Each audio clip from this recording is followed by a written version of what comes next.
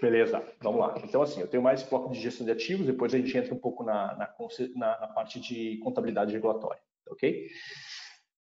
Bom, uh, mostrar um pouco de gestão de ativos, aqui a gente tem que falar, a gente coloca aqui um pouco a situação atual do, do país. Né? Então, a gente tem aqui na curva a, as perdas tá, em, em percentual de, de, água, de água tratada, água produzida, e os volumes de investimento nas colunas. Tá? Então a gente vê que uh, algumas, uh, algumas linhas de perdas, elas não diretamente estão ligadas ou correlacionadas ao volume de investimento. Tá? E por que isso? Porque no setor de saneamento a gente tem uma questão que os investimentos nem sempre são, quando a gente fala, uh, quando, quando a gente fala de investimentos totais, né, não estão diretamente ligados à rede. Neste caso aqui estão, mas demonstraria também que nem sempre uh, valor é qualidade, quantidade é qualidade. Então, por isso que a gestão de ativos também traz isso.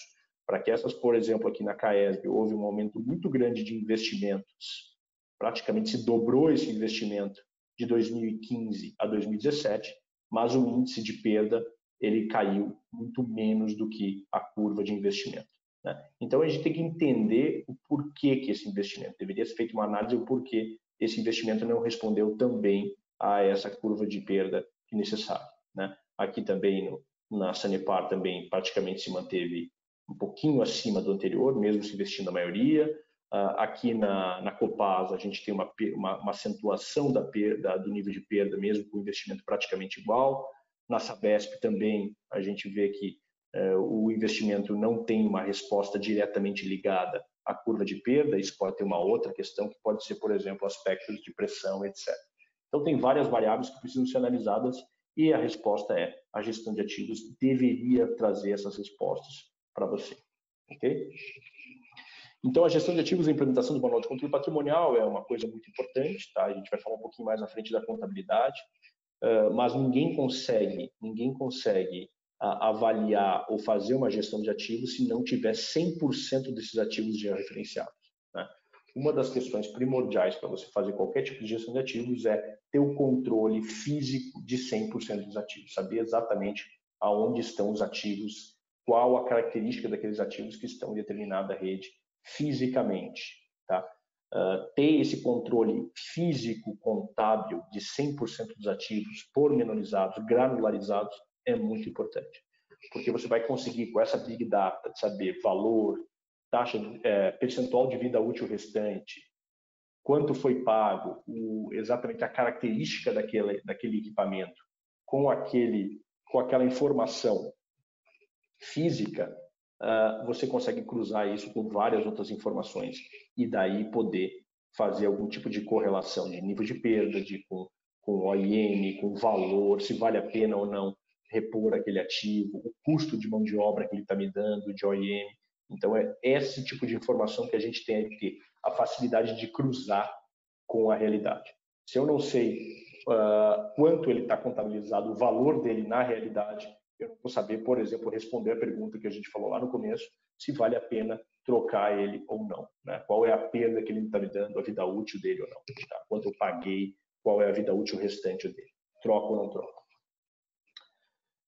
Criação de controles de perdas e telecontrole, então a gente entende que também essa questão de telecontrole, de IoT, que nem o, o, o Felipe colocou da questão das, das das redes de Joinville, mas isso para todos as, os ativos, isso vai ser um, um, futuro, né? A gente ter condição de receber informações daquele ativo 24 horas, se ele está funcionando adequadamente, ele está funcionando como deveria, as características técnicas dele estão sendo mantidas, qualitativa, é exatamente um, uma informação extremamente necessária para qualquer tipo de gestão de ativos. Tá? Controle de perdas, então, daí todas as perdas que a gente está falando, micromedidas, macromedidas, perdas de submedição, perdas de aparentes ou reais, enfim, todas esses, essas características que compõem o nível geral de volume de perdas de água produzida, água tratada, precisam ser quebradas em cada componente para se dar o devido tratamento ou se entender aonde eu consigo melhorar ou aonde não vale a pena mais melhorar. Então, até o, nas águas de Joinville citaram que existe uma meta de 5%, mas se aceita que a submedição uh, tenha até 3% de perda. Então, essa é a meta. Acima daquele valor, não vale a pena eu controlar mais, porque o custo é muito, muito alto. Estratégia econômica é exatamente eu tentar transferir uma parte do meu custo de OPEX para o CAPEX. Então, quando aquele ativo começa a dar muita manutenção, opa, está na hora de trocar ele e eu trocar por um novo que me dê uma manutenção muito menor. Então, eu consigo, ao mesmo tempo que eu troco o ativo, eu diminuo o CAPEX. Então, exatamente essa imagem que a gente quer falar e que a gente estava falando um pouco ali para com a Rita agora no intervalo. Ok, então aí está direta ligado a diretas metas de qualidade, de perda, de universalização. Tá, então, quando a gente fala em objetivo da gestão de ativos, a gente tem vários objetivos: a eficiência econômica e a eficiência técnica, certo? Então, a eficiência econômica é melhorar o indicador econômico, minimizar o IM, ponto. Está bem claro isso, é aquilo que nós falamos agora há pouco tempo atrás. Eu dar incentivos para que todo mundo ganhe com a maior eficiência econômica do, da, do prestador. Ele consiga tecnicamente melhorar e transfira isso economicamente, exigindo menores valores de OIM uh, da, da, na minha tarifa. Né? Enquanto isso, eu tenho um retorno também, além disso, um retorno técnico, qualitativo. Então, eu tenho um ativo mais novo na minha, na minha em campo, eu tenho qualidade melhor, eu tenho menos nível de interrupção, menos nível de menor número de, de, de digamos assim, interrupção ou falha no sistema, tem ausência de, de produção, ausência de serviço. Então, tudo isso também reflete do ponto de vista de qualidade da prestação de serviço para o consumidor. Então, isso tudo está misturado quando a gente acaba sendo tratado de uma melhor forma, ou é um ganho que a gestão de ativos traz dentro da, desse, desse trabalho. A gente tem aqui, por exemplo, alguns eh, conceitos de quando a gente fala de eficiência econômica, né? Três conceitos grandes assim que a gente fala é a produtiva, distributiva e alocativa, né? Então, a produtiva é utilização com o máximo de rendimento e o mínimo de custo da planta produtiva instalada e da respectiva tecnologia. Então, é tentar com aquele item tirar o melhor benefício econômico né, possível. Então, se eu tenho um OIM adequado, eu consigo, com um ativo mais depreciado, manter a qualidade da minha rede uh, dentro do esperado. Então, quer dizer, e eu faço isso produzindo a mesma coisa com um ativo mais barato. Ele está mais tempo em operação, mas por eu ser muito produtivo, muito muito eficiente na parte da OIM, eu consigo uh, fazer com que uh, a qualidade dele mantenha. Por uma, um OIM muito bem feito distributiva, né? Então, a capacidade de eliminar por meio de dispositivos regulatórios de monopolístico, outros ganhos temporários por parte dos agentes individuais. Isso é um pouco mais ou menos a questão da, da regulação, né? Eu consegui distribuir para mais pessoas aquele aquele aquele serviço e não simplesmente uh, transferir renda para o monopolista. Esse é o, é o objetivo da regulação do monopólio natural. Né? Se regula o monopólio natural exatamente para você não deixar que o poder do monopolista daquele concessionário ele aumente seu lucro em função da não prestação a determinadas pessoas ou a não universalização daquele serviço. Tá? E daí a gente tem o efeito que a gente chama de benefício cruzado, etc. E por final, a eficiência locativa é resultados econômicos mais eficientes, maior renda gerada, né, com a mesma quantidade de insumos usados. Então também a locação eficiente do capital, né, eu tenho o mesmo capital que eu uso de uma forma mais eficiente, eu consigo basicamente gerar os mesmos resultados tá? do que outros, uh, do, que, do que colocando mais qualidade, mais produção. Então eu chego a um, eu minimizo teoricamente a quantidade de ativo utilizado, alocada, para ter um, um rendimento igualmente eficiente. Então aqui está uh, também está bem parecido com o produtivo, mas teoricamente ele está minimizando e não maximizando. Então, um eu maximizo o rendimento e outro eu minimizo a alocação, o capital. Tá? Exatamente é um pouco inverso. É, os, os, as capacidades que eu tenho lá por Lagrange, lá, os maximizadores, as formas lagrangianas de maximizar ou minimizar.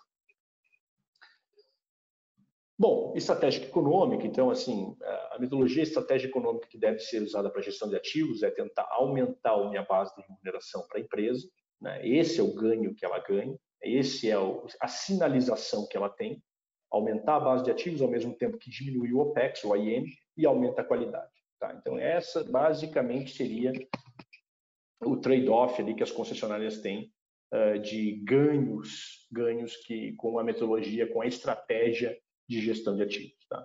E elas maximizam seu lucro também, aumentando uh, o que a gente estava falando um pouco ali uh, com a Rita, através da, dos sinais que eu dou dentro da dentro da dentro da fiscalização ou da remuneração da, da regulação, certo?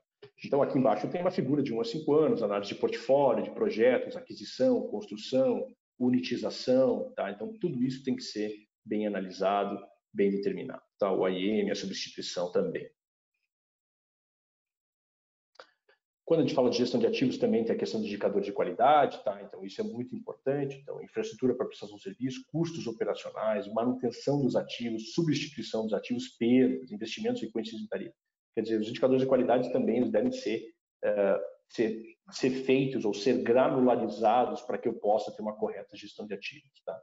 Todos esses sinais devem ser bem medidos para que eu consiga maximizar os resultados da minha empresa. Então, é um pouco mais aquela figura inicial, que é o conceito o conceito de, de eficiência técnica e eficiência econômica. Né? Então, a gente tem que ter um, um painel de indicadores que a gente usa tá? para saber o quão uh, eficiente está a gestão de ativos. Tá? Se eu estou conseguindo alcançar com custos operacionais menores, manutenção de ativos menores, as perdas estão diminuindo, quer dizer, eu estou indo na indicação, na, na, no caminho correto de uma, de uma melhora dos indicadores da minha empresa. Aqui alguns exemplos, por exemplo, que a gente poderia trabalhar, né, uma, exemplos de, de, determinantes que poderiam ser feitos, quadrantes, separações, regionalizações de redes, que a gente poderia fazer algum tipo de case na, na parte de gestão de ativos, então tentar separar uh, por micro-regiões e tentar fazer análise de Big Data para ver quais indicadores que a gente conseguiria melhorar e quais indicadores que existem ali e como melhorar aqueles indicadores. Então, quantidade de consumidores, materiais de rede, idade média da vida útil, custo de OIM anual, intervenções em OS, perdas em disponibilidade, reclamação de usuários, os valores de ativos que estão ali. Tá?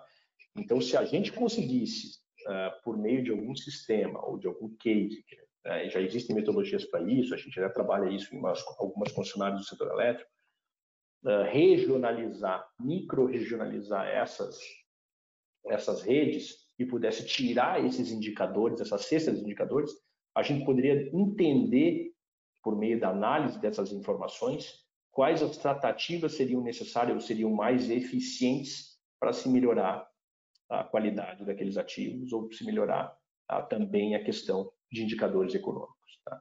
Então, a gestão de, de ativos teria que focar exatamente nessa ideia de se setorizar uma concessão, né, micro, uh, analisar, regionalizar para saber os indicadores de qualidade de cada região e encontrar a melhor alternativa para uh, tratar do ponto de vista de gestão de ativos aquele, aquele, aquela determinada região. Tá? Então, eu posso ter, por exemplo, uma, na rua XYZ ou na, na sub-região XYZ, ativos que estão com valor ou vida útil muito baixa, que estão apresentando um custo uh, de OIM muito alto, perdas muito altas. Então, eu posso ver que, por exemplo, trocar aqueles ativos seria uma boa, uma boa, uma boa alternativa.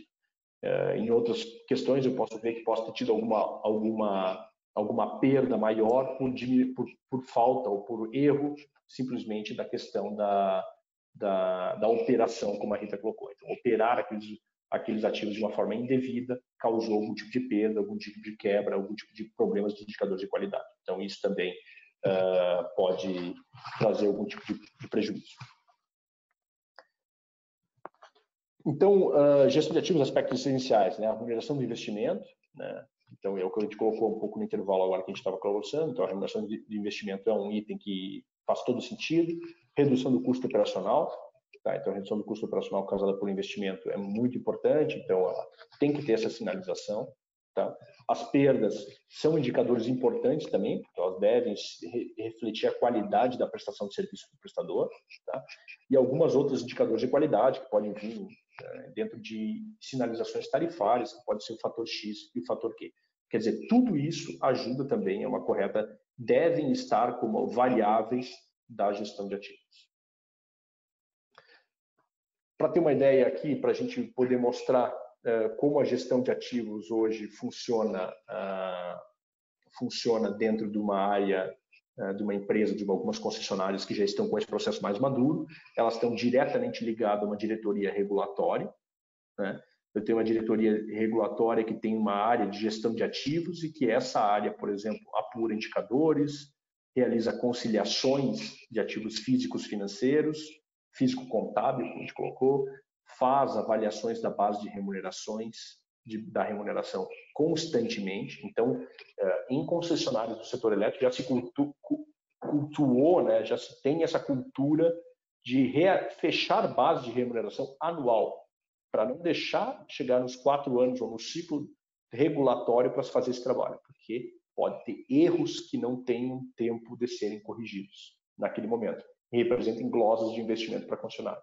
Então, tem concessionária que fecha base de remuneração anualmente para exatamente uh, começar a entender melhor esse processo e aonde estão os erros para poder aumentar a eficiência desse processo normatização e padronização, na questão de implementação de, de, obras, na questão de comunicação de obras da engenharia para a parte uh, contábil, a padronização de regimentos contábeis, de, de kits de, de obras para implantar redes. Então, eu sei que para implantar uma rede na concessionária X eu preciso de um método de rede, de uma porca, de uma arruela, esse componente é esse, esse quer dizer, eles criam kits para mostrar exatamente o padrão de criação da rede é esse. Então, é exatamente uma padronização técnica.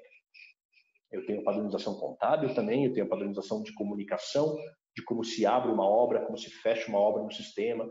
Então, quer dizer, tudo isso tem que ser muito bem uh, evoluído. Tá? A questão de unitização, né? como eu comunico para a contabilidade a, finalização das obras, de que forma são passados os boletins de medições para as unidades de, de registro contábeis, as baixas de que forma são, são, são geradas. O BDGD nada mais é do que um relatório patrimonial físico, então, teoricamente, ele tem um relatório patrimonial físico que está em campo e ele compara com o relatório contábil para fazer essa conciliação. Tá, para ele, né? Então, tudo isso são áreas que foram criadas dentro das empresas do ponto de vista de gestão de ativos. Tá? Então, em linhas gerais, sobre gestão de ativos, eram esses aspectos que eu queria colocar.